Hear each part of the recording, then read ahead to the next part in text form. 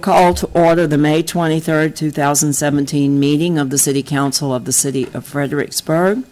We will be led in invocation by Councilor Bradford Ellis, followed by the Pledge of Allegiance to the flag. Please stand if you wish. Heavenly Father, thank you for the opportunity you have given us to serve. Keep us, keep us ever mindful of those in need and watch over those protecting our way of life and our freedom. In your name we pray. Amen.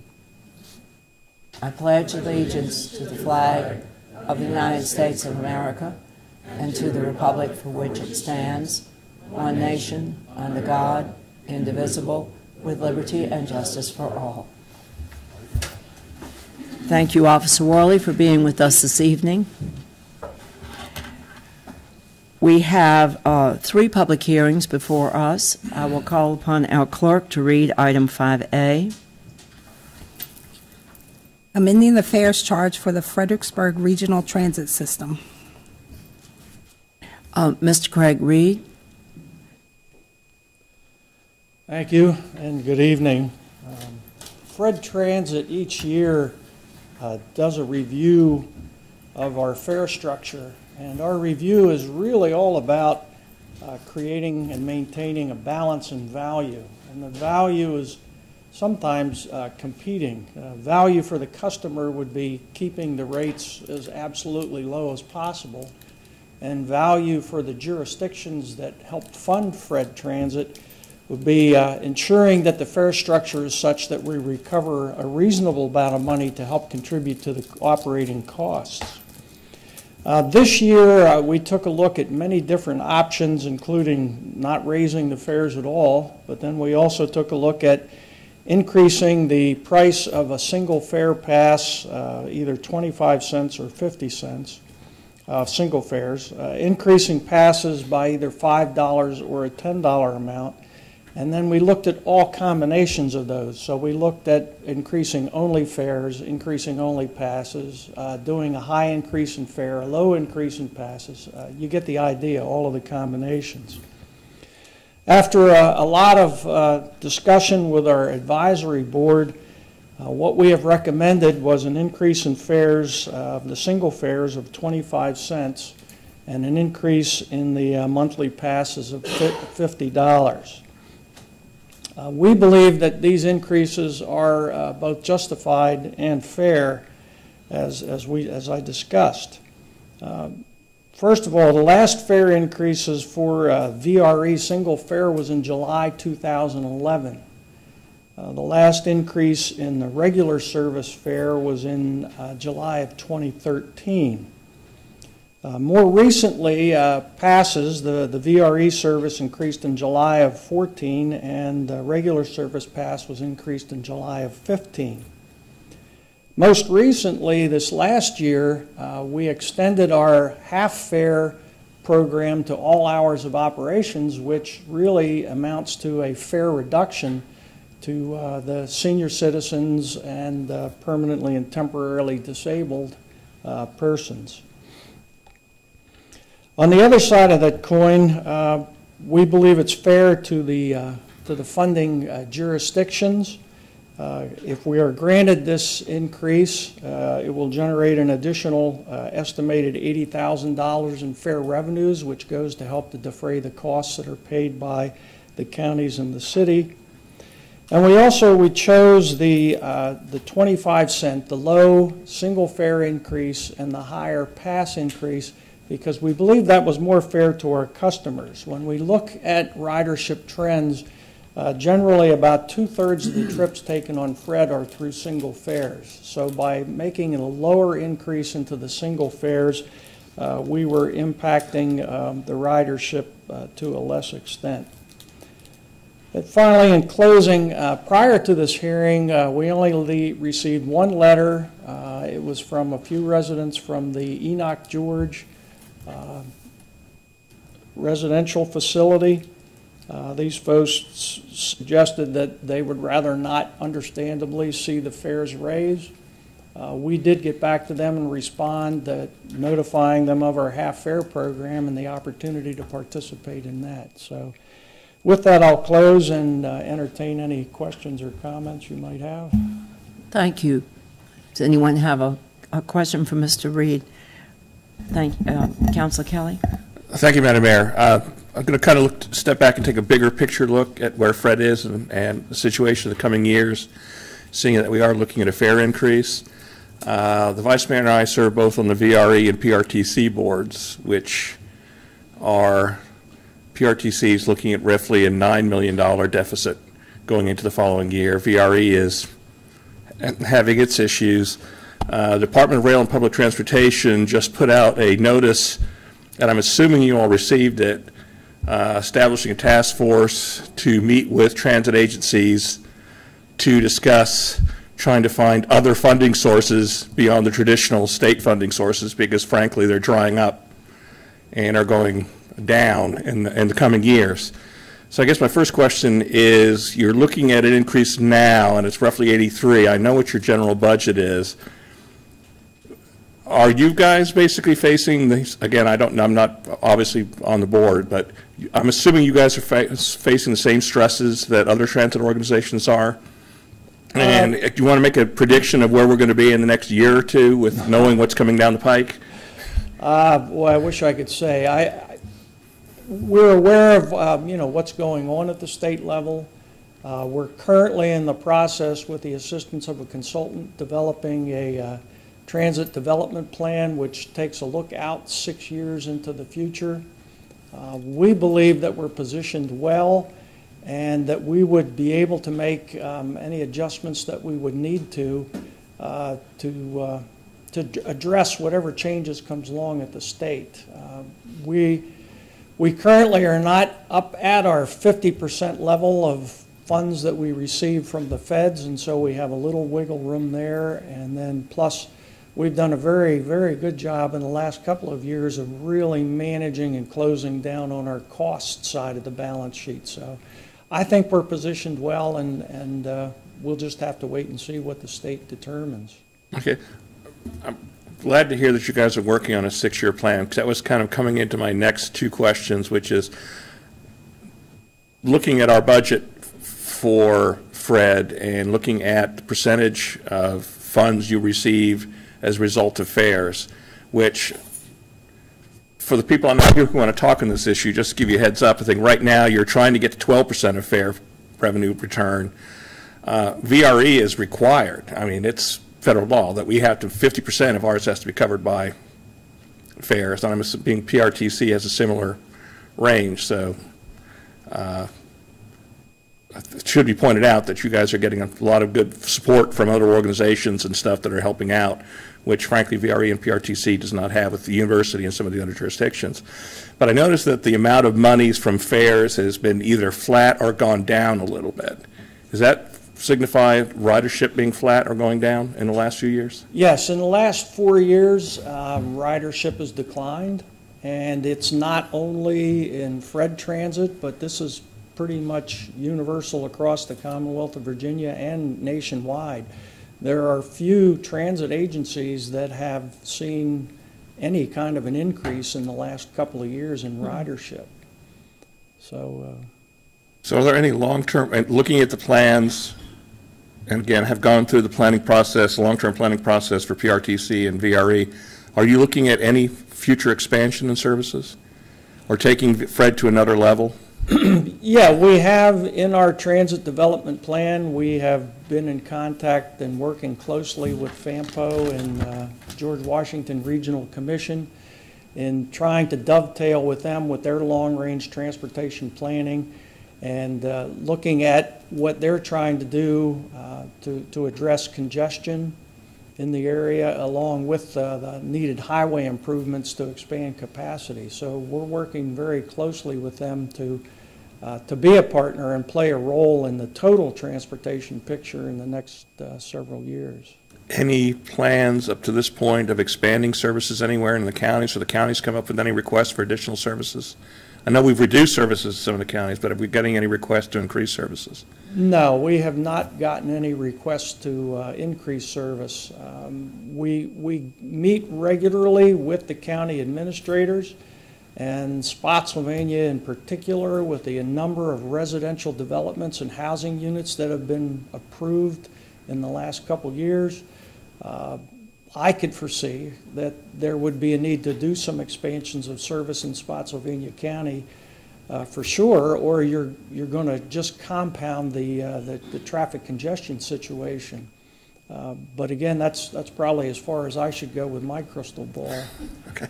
And uh, last but not least, uh, both PRTC and VRE both have programs in place with regards to their bu- respective budgets, where it's pretty much planned out the increase in costs and how they're going to be borne out. VRE, at one year, it's going to be roughly a 3% increase to localities contributions. The next year's three-year fare increase. PRTC is a little, not quite that rigid, but ha- has pretty good telling the public, you know what, the next few years, you can look at this kind of increase. Do you guys have any projections on, I mean, we're looking at 25 cents tonight, and I'll wait for the public to comment, and I've got some few more comments to make, uh, on what the situation is going to be with fares in the future? No, I, and Wendy, I don't know if uh, Wendy, our director, has any. I don't, I don't really have a good crystal ball for fares in the future. Historically, uh, we have never raised fares two years in a row.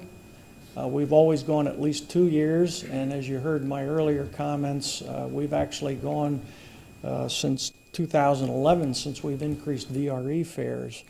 Uh, We've, we've done a lot, like I said, in the last couple years to really tighten up our budget, and we've tried to hold the funding request, request to the jurisdictions at pretty close to level. Um, I think we've probably squeezed as much as we can out of that, and, uh, you know, we'll continue to try to hold the line.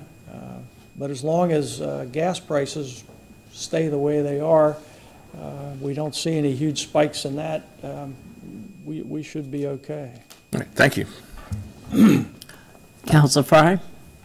Thank you, Mayor Greenlaw. Um, I just have a comment, and I want to, just to take a, a, a minute, since we're talking about Fred, um, about the, the services that, uh, that Fred, uh, does in the community, and I'm out and about a lot in the area, and, um, I just want to just say thank you to, to you all and, um, and especially your employees, um, because, you know, the, the fares are low, but the service is like, is like top notch. And uh, I don't I don't ride the Fred, um, but um, I see what they do, and I just I want to throw out a quick example real quick. Um, I see a few times a week near the YMCA at the YMCA, uh, one of your drivers uh, helps someone in a wheelchair, and some some days it's raining and, and everything, and uh, your employees uh, always seem with a smile on their face and very helpful, and I, I mean it, it really makes a big difference, and it, it feels good you know, to see Fredericksburg name one side of, of that transit, you know, uh, you know, helping out folks like that. And it's, it's, it's a big impact. So, you know, we never know when we're going to need it,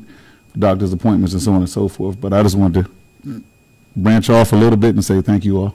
No, thank you, appreciate that. And uh, we don't only sort of stay within our box, we, uh, when we consider fare changes, uh, we look outside the box, and we have about 15 other transit agencies in Virginia and Maryland that are of similar size and nature to Fred Transit, and we take a look at them and how they're pricing, and even with the 25 cent increase that we're proposing, there are still 11 of those 15 transit agencies that charge higher fares than we do. So we really, really try very hard to be fair to the customer, and as I said, to the funding jurisdictions to try to keep um, a real good balance. Um, Wendy also whispered to me during the break, if, if you all haven't already heard, um, we've gotten some word from Caroline County that although in their budgeting process, they've, they've budgeted money to fund us for the coming fiscal year that will start in July, they are looking at and considering uh, reductions in service and possibly elimination of service in Caroline County. So we will be attending a, a public hearing with them on uh, June 13th uh, to see how that fleshes out. Um, Thank you, Mr. Craig. Uh, This is, excuse me, this is a public hearing. Uh, Anyone who is here who wishes to speak to this item may approach the microphone, give your name and address for purposes of the record, and please for, to be fair to everyone, observe the five-minute time limit and yield the floor when the clerk indicates your time is up. There's actually a little device here with a green and yellow and red button on it. And the yellow button will come on when you're getting close, so that kind of helps you out too. Um, But this is a public hearing, and anyone who is here who would like to speak to this matter, please do so. Just approach the podium. Um, Make sure the green light is on, on the Uh, uh-huh, microphone. You might have to push the button on the microphone. It's Yeah. on? Okay, thank you. Jack McDuff from Spotsylvania, Virginia. I've been Fred for like five years. Um, Fred's vehicles are constantly breaking down. Um, the handicapped uh, equipment for Fred drivers makes it quite um, impossible for them to stay on schedule. I think you should have special Fred vehicles pick up the handicapped people. Um, comparison, uh, Virginia vehicles are not, are smaller, more comfortable to ride than Fred. Fred has far to go from Charlottesville of vehicles. Size of vehicles, uh, uh, of vehicles make them hard to maneuver and make them uh, hard to stay on schedule. Uh, Public like this should be held more often. Um, Concerning, um, held like uh, other localities of Spotsylvania, King George, Stafford. Uh, Shelters are far, far from being built in uh, this area. Uh, Why is not uh, Fred meeting with board supervisors to urge them to build shelters? Uh, I can't make, can't believe why shelters are not being built. Uh, thank you for your time. Thank you much. Thank you, Mr. McDonald. McNutt, thank you. Thank you. Um, Is there anyone else who would like to speak? All right, if there's no one else who wishes to speak to the matter of the um, raising of the, amending the fares for Fred bus system, then we will declare this public hearing closed. This is a matter before us for first read. Madam Mayor, I'll move to approve the ordinance on first read, amending the fares charged for the Fredericksburg Regional Transit System. Second. Motion's been made and seconded. Mr. Kelly? Uh, Thank you, Madam Mayor. Uh, The questions I asked were not, shouldn't be taken anything other than placing the reality of what transit faces right now in the Commonwealth of Virginia. Um, I would really like to see, when the six-year planning process is completed, that we do have a sit-down chat between the council and the transit board. Uh, You're right, we are talking about transit at the GWRC FAMPO level. The issue we have, and we started this five or six years ago when we went to the 2035 planning, we looked at transit, and the problem is, the way we're developing, which is a more suburban development pattern, it makes it very difficult to make transit viable, except Route 3, Route 1, and those. So the other issue is, I know a lot of people who do not have vehicles of their own, need to get to work, doctors, and shopping, and are a large part of the clientele for Fred. And if that is the goal we want for Fred, then we might be having a discussion at some point of, do we frankly increase our funding to it as an option, as opposed to continually passing a cost on to a part of our community that frankly, every, every dollar counts? Um, Or are we talking about, as you guys move forward, the expansion of the service into other areas and other aspects of transit? Um, We know that if we want to take transit to the level of people getting out of their cars, it's going to, frankly, at this point in the ballgame, is a cost that we can't even come close to making. You've got to guarantee somebody being picked up 15 minutes when they step out the door to get on a bus and get back in a reasonable amount of time, which would cause a massive expansion, and I don't think we're there yet. The counties, as you have noted with Caroline, have been paring back their services. But I think it is an important service to have for the community. It helps a part of the community that needs that assistance. Uh, But if it comes down to it, I would like us to have, one, understand where you all are going, and two, have the conversation of, if, if this is the level of service we're going to do, and we know what the target community is, I know we're also doing VRE riders, which is a great thing to do, too, uh, then we might want to have a serious discussion of, of what the costs should be to the riders. Uh, But I will support the motion because I do understand what you're trying to do and I understand that frankly, compared to what's going on at PRTC and VRE, you're in a lot better shape than most, actually. Uh, But I think it's time for us to really sit down when you guys finish that plan and have a serious discussion of where we are going to take Fred in the future. Thank you. Vice Mayor Withers.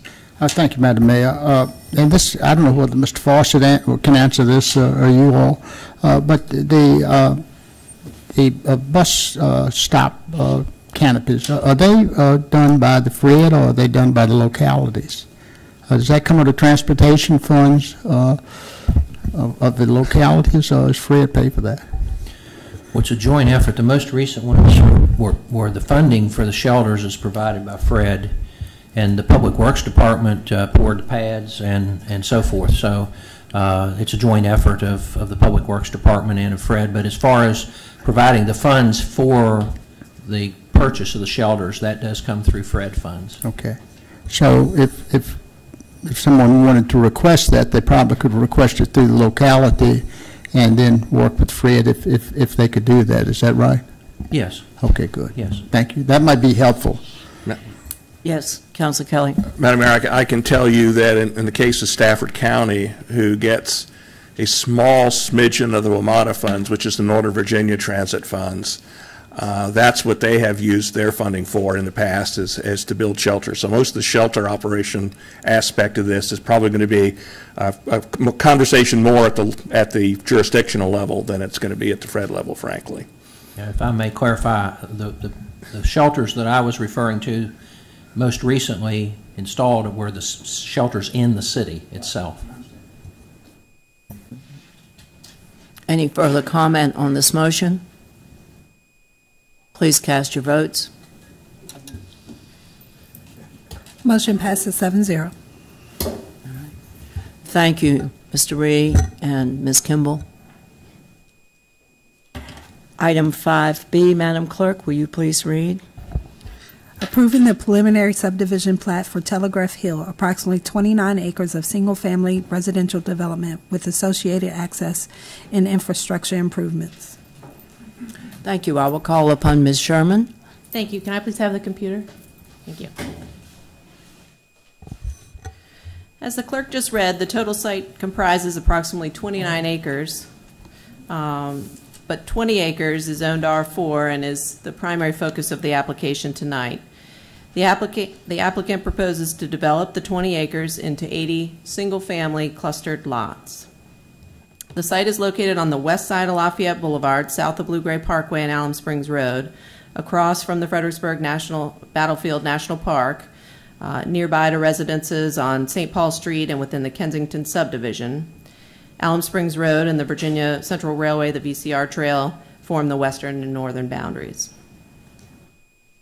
Again, the applicant proposes to subdivide about 20 acres into 80 single-family detached lots and open space parcels.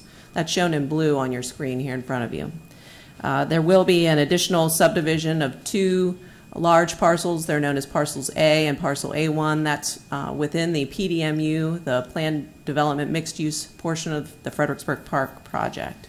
Uh, And they're just kind of subdivided when the Rampart Drive connection is made. They're not part of this application formally. At build-out, the 80 single-family lots will be served by two public streets from Lafayette Boulevard. Rampart Drive will serve as the main access to the neighborhood and connect to the proposed roundabout, which is to be constructed with the Fredericksburg Park mixed-use development. That's shown on the right side of your screen, further north, further closer to Blue Gray Parkway. City View Lane provides a secondary right-in, right-out connection to Lafayette Boulevard at the southern end of the project. That's shown in the smaller circle at the bottom of your screen. City View Lane will also connect to Alum Springs Road at its northern end, shown at the top of your screen. Oops. All internal streets are designed with curb gutter and five-foot sidewalks. The 10-foot wide VCR trail will be constructed along Lafayette Boulevard per the Lafayette Boulevard design guidelines. Over five acres of land will be dedicated to the homeowners association for open space set aside, as required by the code. The open space is designated for active and passive recreational uses, as well as a portion of the stormwater facilities. Three pocket parks are located throughout the development and will be improved with sidewalk connections, mailboxes, landscaping, and benches, and serve as community meeting places. A graded field is shown on the south side of Rampart Drive adjacent to Lot 42, which will provide for open play.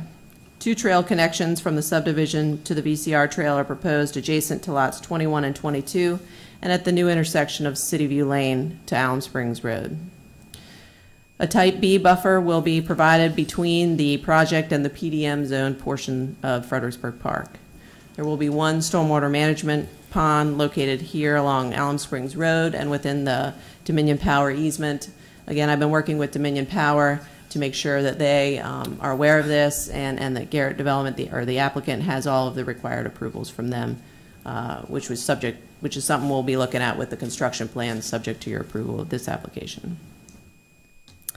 The applicant proposes to develop the project in two phases. Phase one is shown in the pinkish color and comprises almost five and a half acres uh, for the development of 22 lots off the southern access to Lafayette Boulevard. Phase two is shown in blue and comprises the remaining 58 lots. Phase one includes its proportionate share of open space as required by the code and one pocket park that will have sidewalk access, landscape benches, and a community mailbox.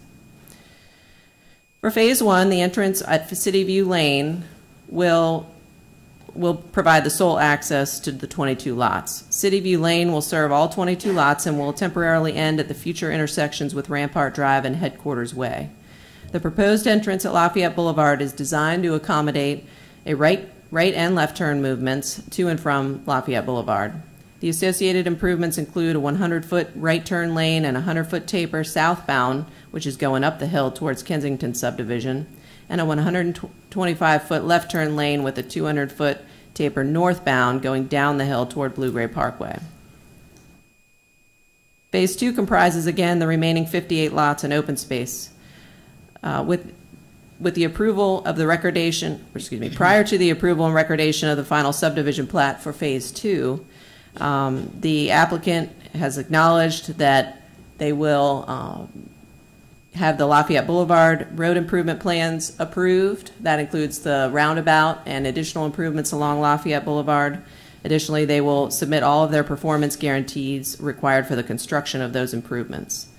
They've also acknowledged that prior to the city issuing any certificate of occupancy for any lot in Phase Two, uh, they will, prior to that, they will have the connection of Rampart Drive made to the roundabout.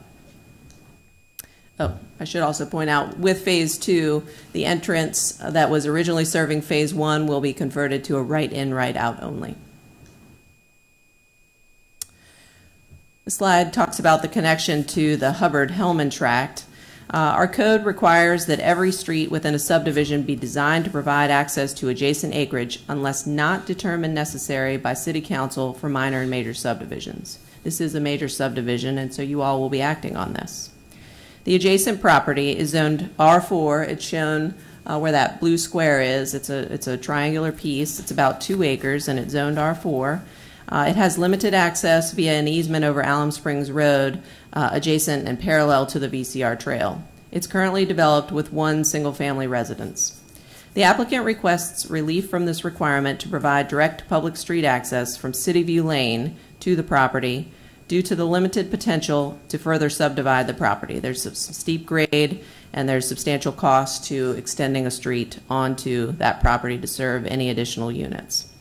Based on staff's initial review of the request, the applicant added a 17 to 19 foot wide private access easements between lots 16 and 17, as shown here in blue, uh, to this neighboring property instead of providing the public street connection. The easement will be graded with a curb cut installed at City View Lane to allow for future installation by the property owner of the Hubbard-Hellman tract. Um, they can install a driveway at their own choosing uh, at a later date. I did want to point out that a representative for this property owner attended the Planning Commission meeting and, and did speak. They did not have any objection to the proposal as shown. Staff does recommend, it- recommend that City Council approve the proposed private access easement to meet the intent of the code, as it provides improved access from a public street uh, to this property, very similar to a pipe stem lot. The Planning Commission did act on May 10th and voted, and voted to recommend approval of the application with the private access easement as shown to the Hubbard-Hellman tract. There were two other conditions regarding the connection of City View Lane to Lafayette Boulevard and City View Lane to Alum Springs Road. Both of those conditions have been addressed with the current application dated May 16th that was included in your package. Therefore, staff recommends that City Council approve the attached resolution approving the application, uh, subject to approval of the proposed private access easement to the Hubbard-Hellman tract to satisfy the city code. I'll be happy to answer any questions that you may have, and I did want to point out that Justin Troidel of Bowman Consulting is here representing the owner, and he is also available to answer any of your questions. Thank you. Thank you, Ms. Sherman. Councilor Kelly? Thank you, Madam Mayor. Marty, first question would be that this project, as it has now been proposed, is within the bounds of the original agreement between the city and the developer for this particular project. Is that correct? We're not asking for anything above and beyond what we had already discussed, what, two years ago? Three years ago? Right, it, it is a different application, uh, but it complies with all of the codes, and it's generally consistent with the previous application you approved. All right. And the second question, I want to just elaborate a little bit more on, you said the roundabout and other improvements. The other improvements include the widening of Lafayette Boulevard, the inclusion of the trails and pedestrian access up to the top of the hill, uh, and widening all the way up to the top of the hill, and turn lanes necessary, et cetera. Yes. Correct? The only thing that's not included in this phase would be the re, relining Alum Springs, which uh, love to have done sooner rather than later, but that will become later. But everything else will be part of this project. Let, let me clarify that. The road plans that we have in uh, would improve Lafayette Boulevard from essentially St. Paul Street to the roundabout. And then there'll be limited improvements to the existing access point with Alum Springs Road. Okay. The, the agreement that council agreed to with the developer um, delegated the Lafayette imp- improvements. Uh, It, it- it would evolve as the commercial pieces, the different land bays evolved. All right, thank you. Any other questions from Ms. Sherman? This is a public hearing. Is there anyone here who would like to speak to this matter?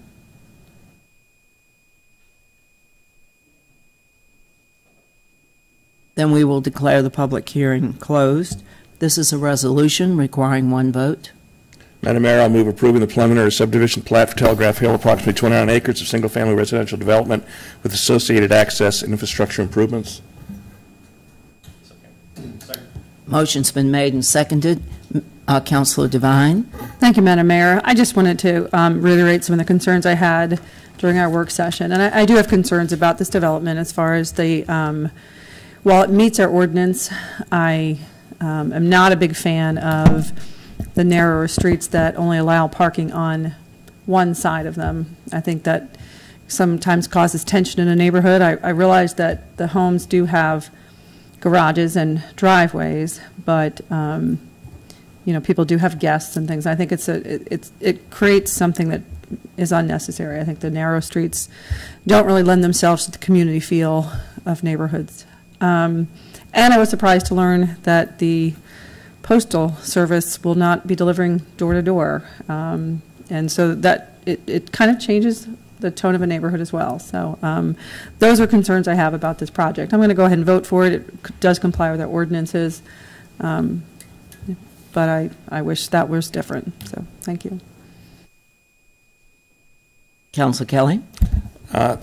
Thank you, Madam Mayor. Uh, This has been a a bit of a long process getting to this point of getting the project moving forward.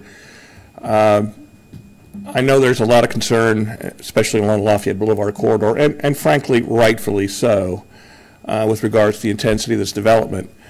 Um, I want to make it clear that in all discussions the city had in working with the- the the development community on this project, I know there's been people coming in and out of this project.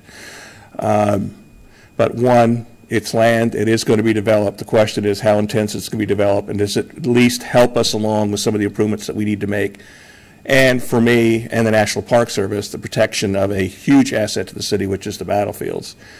And in the course of the conversation, uh, we did get a reduction, basically it was, was, involves a reduction in, in the amount of density in the development. Um, It involves, of course, the developer paying for the improvements to Lafayette Boulevard in front of their project to include, I know the roundabout is a bit controversial, but it's better than a traffic light going downhill.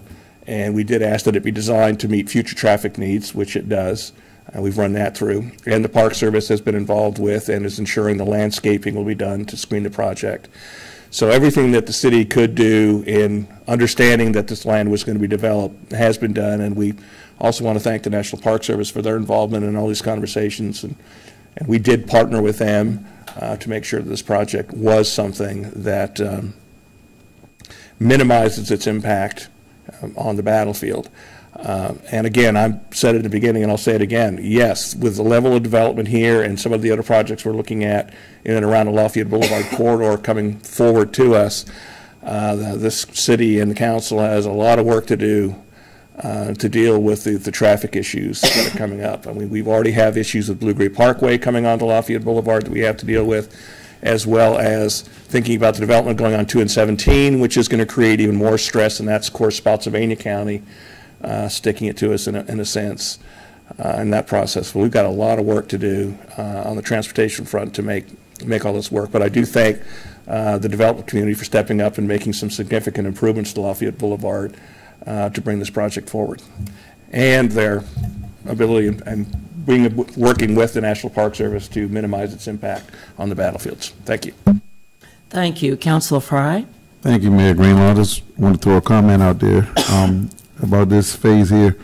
Um, I just want to say I'm, I'm happy to see uh, some single-family homes. We live in, in, in, in the world of the city of Fredericksburg where everybody um, comes to the table and tells us how great apartments and townhouses are and how they're the best thing for this location on every piece of property that pretty much just crosses our table. But I just wanted to say it's, it's good to see, uh, you know, a project with a piece of property, like other pieces of property in the city, um, where there's going to be some single-family homes. Um, no matter what the future holds on other pieces of property, at least this one here, um, we have finally some single-family homes. Um, so I just wanted to throw that out there. Yes, Councilor Duffy? Thank you, Mayor. I would just like to um, say that I agree with everything my colleagues have said about, you know, it's going to be a little different kind of neighborhood with one-sided parking and, and, um, and the the post, post boxes the way they are. Uh, But also, uh, you know, I hope that this is the beginning of real improvements to the Lafayette uh, Boulevard corridor. I- I'm concerned about that, um, both for vehicles and for pedestrians, and, um, and I'm- I'm pleased that there's um, s- some limit to what this uh, development could be. It could be more dense um, on this site. So I, I think this is making the best of it, and of course, all of this was negotiated many years ago, before my time here, uh, but I'm uh, happy to support it. Thank you. Thank you. Motion's been made and seconded. Please cast your votes. Motion passes seven zero. Okay. Madam Clerk, would you please read item 5C? conveying the city's interest in the 11.703 acre portion of GPINS 7778-07-4650 and 7768-866689, more commonly known as stormwater, stormwater pod, ponds 1, 2, 3, and 4, to Cal-Atlantic Group Incorporated, accepting the dedication of Cal-Atlantic Group Incorporates interest in an approximately 54.2 acre portion of GPIN's 7779-00-3066 and 78-18-7467 to establish a new public area and entering into a trail maintenance agreement with Cal-Atlantic Group Incorporated. Thank you. Ms. Sherman? Thank you. Have the computer, please. Just a minute.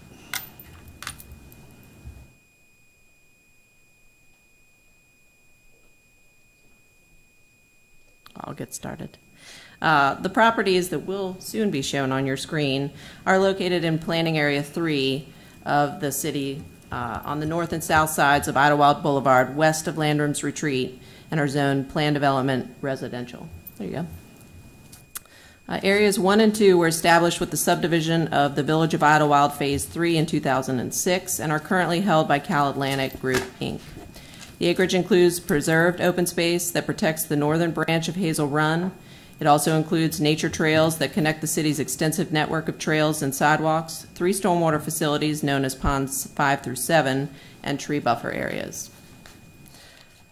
Parcels for ponds 1 through 4, which are subject to this application, will be created with the recordation of, of the subdivision plat, which was included in your package. These ponds are located in areas 3 and 4, as shown on the slide, on the south side of Idlewild Boulevard. Area 3 was accepted by the city in 2005 and contains ponds 3 and 4. Area 4 was accepted by the city in 2004 and contains ponds 1 and 2. The Village of Idlewild was developed following approval of a conditional rezoning in 2003. Proffer number two states in part that the applicant agrees to dedicate to the city in fee simple approximately 151 acres of the property. And um, this was dependent upon the city's desire to own and maintain such land. Any portion of the dedicated area that the city does not desire to be dedicated shall be deeded to and maintained by the HOA. What we're asking you tonight is to consider acceptance of this property. Additionally, proffer two states that, or requires the developer to construct a soft-bedded nature trail within the dedicated area, uh, and that the HOA shall maintain this unless accepted by the city. There was also proffer number 15, which required the applicant to construct all necessary on-site stormwater management ponds and said that those ponds shall be owned and maintained by the HOA unless determined by the city. Areas 1 and 2, again as shown on your screen, less than except the stormwater ponds and tree buffer areas, comprise the balance of the 151 acres of land envisioned by proffer number 2. The required nature trails have been constructed within each of the four areas and are currently maintained by the Village of Homer- Homeowners Association. The city has maintained the ponds 1 through 4, which again on- are on areas 3 and 4, uh, since the property was conveyed to the city by Cal Atlantic Group. Um, Cal Atlantic has maintained ponds 5 through 7 on its property since they were constructed. However, long-term maintenance of all of the ponds was intended to be the responsibility of the HOA in accordance with Proffer 15. In 2015, Michael Craig, uh, the zoning administrator, issued an order to remedy compliance with the proffered conditions, which included the transfer of areas 1 and 2 from Cal Atlantic to the city pursuant to Proffer 2, and the transfer of ponds 1 through 4 from the city to Cal Atlantic pursuant to Proffer 15, subject to the review by the Planning Commission and the City Council. The order was issued following consultation with and concurrence by various city departments, the Pathways Steering Committee, and the city manager at the time, who all agreed that the city should accept the open space land and transfer of ownerships of ponds 1 through 4, again, subject to your approval. The Pathways Steering Committee and the Director of Parks and Rec have recently weighed in to acknowledge their continued support of these actions, and Cal Atlantic has worked diligently with the city to facilitate where we are tonight.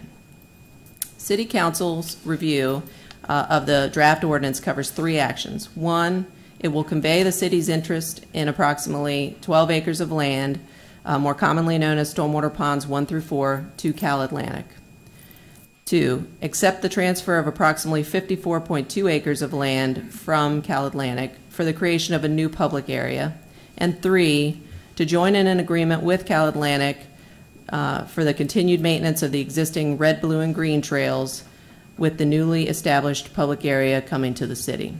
Uh, The last one, just to make it a little bit more clear, uh, we are granting or or requiring Cal Atlantic or eventually the HOA to continue the maintenance of these trails. For the first item, City Council is required to hold a public hearing prior to acting on the attached ordinance to convey the city's interest in the 11.7 acres of land.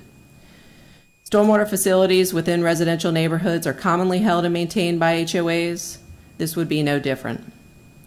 Uh, While City Council approved the subdivision plats that originally conveyed the ponds to the city in 2004 and 5, the proffers again envision long-term maintenance of these facilities going to the HOA. Staff, Cal Atlantic, and the Homeowners Association have all worked together and understand what's happening here tonight, uh, and all are on board to facilitate this transfer. Approval of the draft ordinance directs the city manager to sign the draft deed of subdivision and easement and the draft subdivision plat on your behalf, which together create the transfer, create and transfer ponds one through four to Cal Atlantic. For number two, the acceptance of new public area. The city currently holds ownership to about 175 acres in this planning area, planning area three. Over 150 acres connect directly to the proposed new public area in areas one and two. The proposed public area is bordered by the VCR Trail and continue, contains established trail systems within the village of Idlewild. As noted on the attached Parks and Rec memo and the Pathway Steering Committee memo, public ownership of areas 1 and 2 provides the opportunity to connect additional trails to the historic site containing the Downman House and into Altoona subdivision, which is not currently connected to any pedestrian facilities.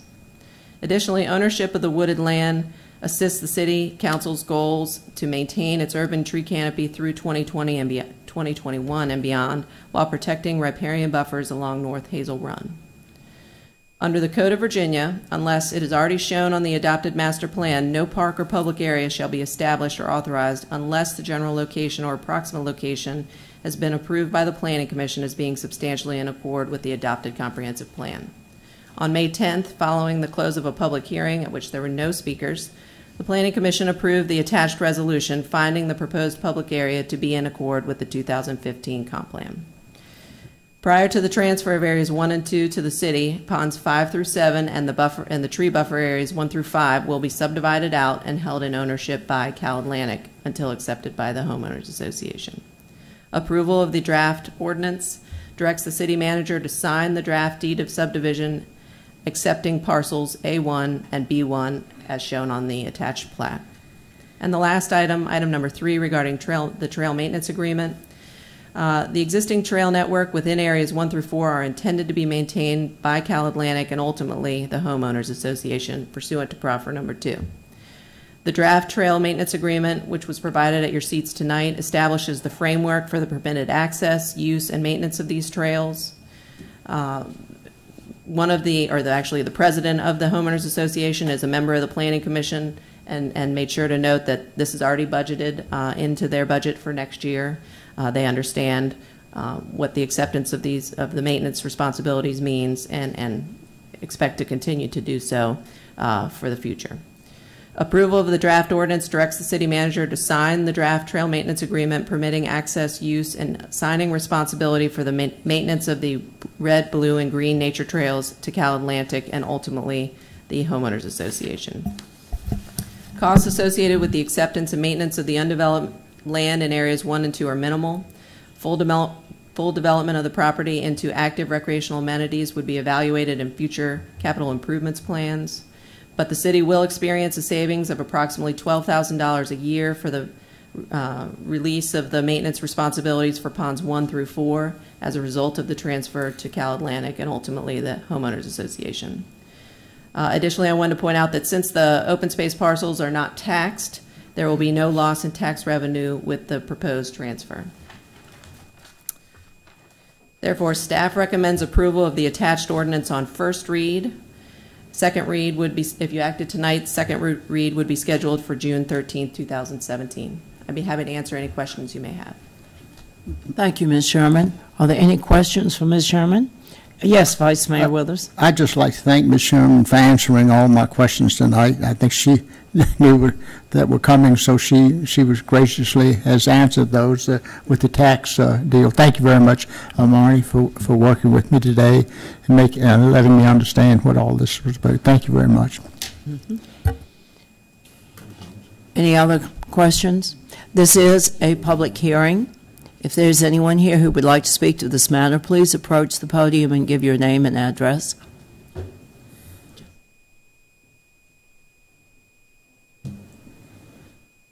All right, then I will declare the public hearing closed. This matter, yes, Ms. Sherman.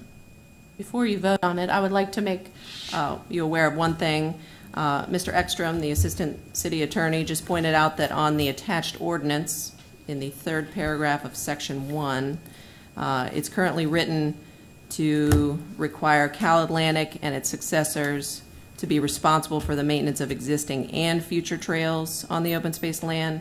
Um, th- It should only reference existing trails. Any future trails would be subject to maintenance by the city. So if you act on this tonight, please note that change, and, and we'll make that correction for second right, read. thank you, Mr. Ekstrom. Madam Mayor, I'll move the ordinance on first read as amended. All right. Motion's been made and seconded. Any discussion? Please cast your votes. Motion you have passes seven zero. Yeah.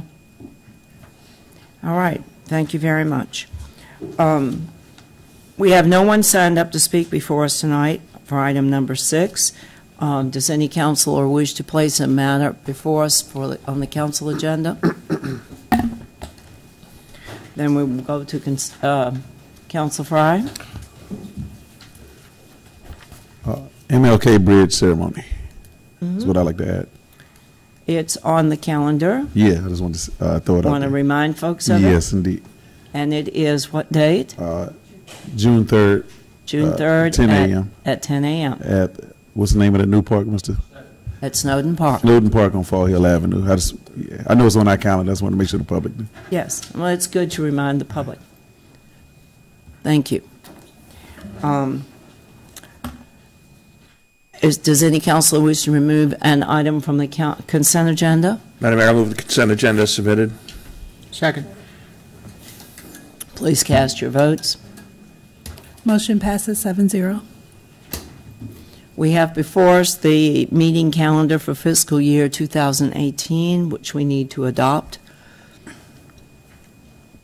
It includes um, no meeting the second Tuesday, the fourth Tuesday in, in July, and the, Madam Mayor, I think we just approved that as an item on the consent agenda.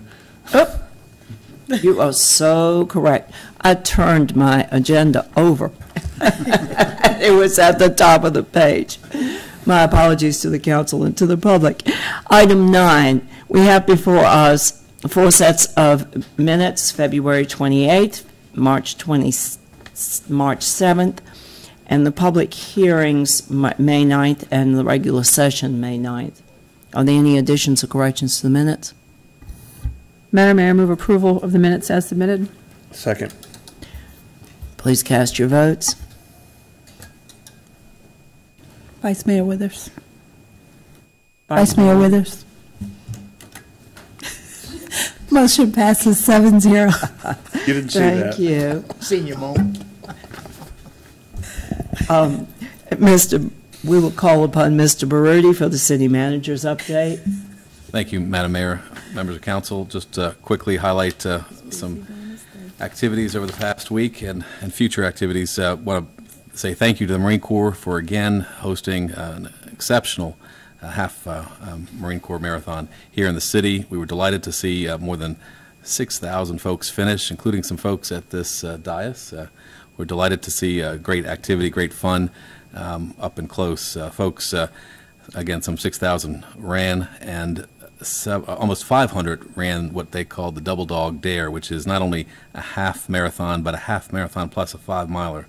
So those folks are obviously super athletes. We're delighted to have them in the city. I do want to thank neighbors for, for their patience uh, while folks wind themselves through the streets. Um, and again, thank the Marine Corps for throwing what uh, was an exceptional 10th uh, run through our city. Hope um, they're start planning for next year. Obviously, we want to help to support them do that. I'll also highlight the fact that Parks and Rec again has their Kids Fishing Derby on Saturday, June 3rd at Mott's Reservoir. That's a free event beginning at 7:30 a- a.m. again June 3rd. Remind folks to join us for that uh, great adventure. And lastly, I'll just highlight the fact that uh, the City Council and the Mayor will take their vision on the road. We've got uh, three planned meetings uh, with the community. Uh, June 7th will be at Dorothy Hart at 7 p.m. Um, We'll also be uh, uh, on June 10th um, at Mayfield. Um, And lastly, on June 12th, Monday at 7 p.m., we'll be at Idlewild Community Center. So again, June 7th at 7 p.m., Dorothy Hart. Saturday, May, I'm sorry, June 10th at 9 a.m. at Mayfield uh, Civic, uh, I'm sorry, at the park at at Mayfield, uh, as well as uh, the last event, uh, Monday, June 12th, 7 p.m., Idlewild Community Center. So uh, that information will be dispersed in, in many ways. I just wanted to highlight it for the um, residents' attention early on. So thank you, Madam Mayor. Happy to take any questions. Any questions for Mr. Baroody? All right, I, I would like to add that we have a Memorial Day weekend coming up here, and we have a remarkable community with many, many reminders, cemeteries, uh, the statue of Mercer on Washington Avenue, many reminders of those who sacrificed their lives, literally, for our sake and for this country. We will have a beautiful, the annual illumination at the Fred- Fredericksburg National Cemetery Saturday night. On Memorial Day itself, there is a ceremony at the Confederate Cemetery in the morning. There is a cere- ceremony at the National Cemetery at noon. There's the Memorial Day pro- procession from Sophia um, uh, at 11, a Memorial Day ceremony at the War Memorial at 2, the, the memorial to fall, fallen heroes that the uh, Veterans Council um, has there in front of Maury, and a free Pops Orchestra concert at 6 p.m. So we have many ways to remember those folks who dedic- who literally sacrificed their lives for us um, on this Memorial Day weekend. And if there's nothing more to come before this body, we are adjourned.